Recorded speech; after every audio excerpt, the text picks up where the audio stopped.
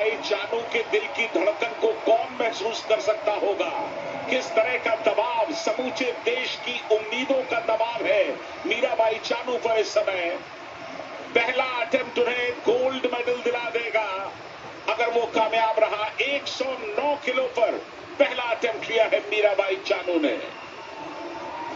Tokyo Olympics में भी जो पहला इनका अटेम्प्ट था, वो 110 का तो उससे एक किलोग्राम कम किया है, क्योंकि वही काफ़ी है। तैयार हो जाइए प्रभु। पूरा भारत हाथ जोड़ के प्रार्थना कर रहा है अपने पहले गोल्ड मेडल के लिए, पहले सोने के लिए।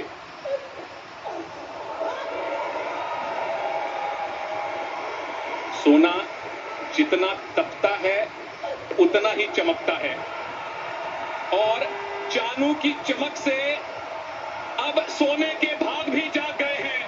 पहला गोल्ड मेडल बर्मिंगम 2022 में मीराबाई चानू ने भारत को दिलवाया है। मुबारक मीराबाई, मुबारक भारत।